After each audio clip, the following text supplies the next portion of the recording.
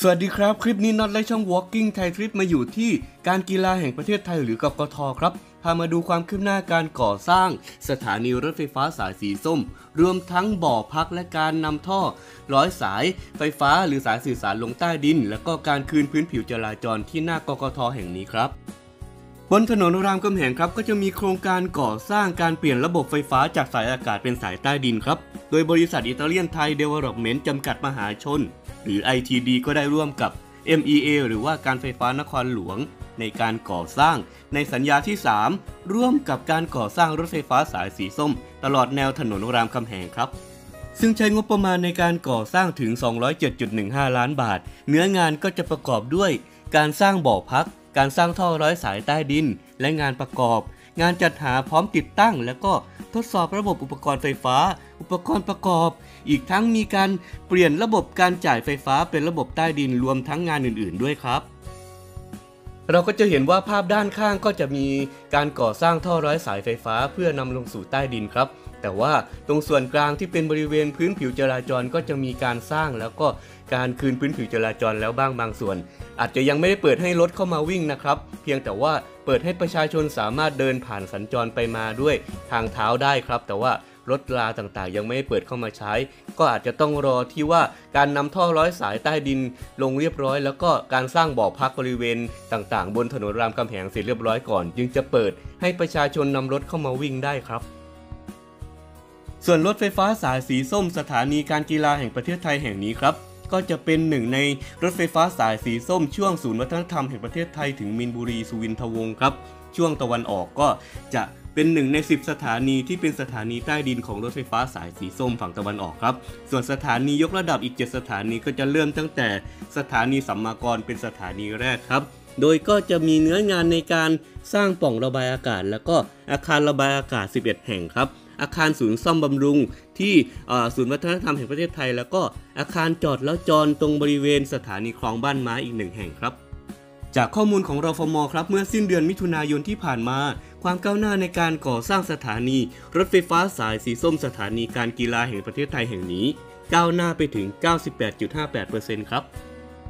โดยคาดการว่าประมาณเดือนสิงหาคม 68 ก็จะเปิดให้บริการรถไฟฟ้าสายสีส้มฝั่งตะวันออกได้ แต่ผมมองว่าเป็นเพียงการคาดการไว้เท่านั้น เนื่องจากว่าก็จะมีการพ่วงกับรถไฟฟ้าสายสีส้มฝั่งตะวันตก ซึ่งจากข่าวคราวที่เราได้ยินกันเมื่อไม่นานมานี้นะครับ ศาลปกครองก็ได้มีคำสั่ง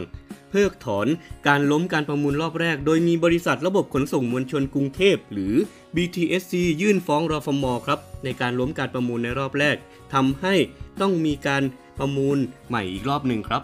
ตามกำหนดการครับภายในเดือนกรกฎาคมนี้ ก็จะมีเอกชนยื่นข้อเสนอต่างๆ เพื่อเข้าร่วมลงทุนครับ เดือนสิงหาคม 65 ก็จะมีการคัดเลือก เอกชนเพื่อเข้าร่วมลงทุน แล้วก็ภายในปี 65 นี้ก็จะมีการลงพื้นที่เพื่อเริ่มก่อสร้างรถไฟฟ้าสายสีส้มฝั่งตะวันตกครับ แล้วก็คาดว่าภายในเดือนธันวาคมปี 70 ก็จะเปิดให้บริการฝั่งตะวันตก แล้วก็เดือนสิงหาคม 68 ก็จะให้บริการรถไฟฟ้าสายสีส้มฝั่งตะวันออกครับนั่นเป็นเพียงกำหนดการแบบคร่าวๆสำหรับการก่อสร้างรถไฟฟ้าสายสีส้มที่วางไว้ครับ แต่ว่า เราก็ต้องมารอคอยดูกันต่อไปว่า รถไฟฟ้าสายสีส้มฝั่งตะวันตกนี้ จะได้ก่อสร้างหรือว่าเสร็จทันตามกำหนดการที่วางไว้หรือไม่ เพราะว่าอย่างที่เราทราบกันดีอยู่แล้วว่า รถไฟฟ้าสายสีส้มฝั่งตะวันตกนั้น ก็จะมีข่าวคราวต่างๆ เข้ามาเรื่อยๆครับโดยเฉพาะเรื่องการล้มการประมูลในรอบแรกไปแล้ว และตอนนี้ก็จะมีข่าวคราวว่าจะมีการประมูลในรอบที่ 2 ครับ ซึ่งในรอบที่ 2 นี้ก็จะมีการเปลี่ยนเกณฑ์สำหรับเอกชนที่จะเข้าร่วมโครงการ ลงทุนหรือว่าการก่อสร้างรถไฟฟ้าสายสีส้มฝั่งตะวันตก เพราะฉะนั้นเราต้องมารอคอยดูกันว่า ใครหรือว่าเอกชนรายใดจะเข้าเกณฑ์แล้วก็จะได้เข้าร่วมการลงทุนก่อสร้างรถไฟฟ้าสายสีส้มฝั่งตะวันตกนี้ครับประชาชนอย่างผมก็ลุ้นให้การก่อสร้างรถไฟฟ้าสายสีส้มทั้งฝั่งตะวันตกและฝั่งตะวันออก เสร็จเร็วๆครับ เพราะว่าจะได้เป็นอีกช่องทางหนึ่ง หรือว่าเชื่อมการเดินทางจากช่วงบางขุนนนท์มาถึงมินบุรีได้อย่างสะดวกรวดเร็วยิ่งขึ้น อีกทั้งสถานีที่จะมายังถนนรามคำแหง โดยเฉพาะสถานีการกีฬาแห่งประเทศไทยแห่งนี้ครับ ก็จะสามารถเดินทางมาได้อย่างสะดวกรวดเร็วยิ่งขึ้น เพราะว่าในช่วงที่มีกิจกรรมหรือว่ามีแมตช์ใหญ่ ๆ อย่างแมนยูหรือว่าลิเวอร์พูลที่ผ่านมาใครก็จะเห็นแล้วว่า การเดินทางไปยังสถานี การกีฬาแห่งประเทศไทยหรือที่สนามราชมังคลากีฬาสถาน ไม่ค่อยจะสะดวกเท่าไหร่ครับ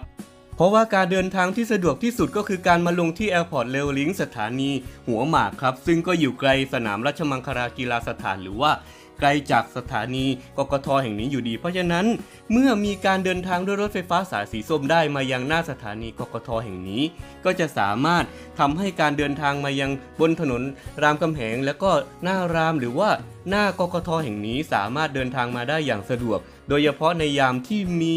เหตุการณ์ หรือว่ามีกิจกรรมต่างๆ ใหญ่ ๆ เกิดขึ้นรถไฟฟ้าสายสีส้มก็จะเป็นส่วนหนึ่ง หรือว่ามีความสำคัญในการ ทำให้ประชาชนเดินทางมายังสถานที่แห่งนี้ สามารถเดินทางมาได้อย่างสะดวกรวดเร็วยิ่งขึ้น แล้วก็สามารถเดินทางไปยังสถานที่ต่างๆ บนถนนรามคำแหง ได้อย่างสะดวกรวดเร็วยิ่งขึ้นด้วยครับ ที่สำคัญรถไฟฟ้าสายสีส้มจะเป็นตัวเชื่อม การเดินทางจากกรุงเทพมหานครฝั่งตะวันตก บางขุนนนท์กระทั่งมาถึงกรุงเทพมหานครฝั่งตะวันออกนั่นก็คือมินบุรี ให้มีความกลมกลืนกันมากขึ้นครับ สาระดีเดินเที่ยวสุขใจไปกับ Walking Thai Trip กับน็อตครับ ขอบคุณทุกคนที่เข้ามารับชม ฝากกดไลค์ กดแชร์ กด Subscribe แล้วก็กดกระดิ่งให้หน่อย ดูแลสุขภาพด้วยครับสำหรับคลิปนี้สวัสดีครับ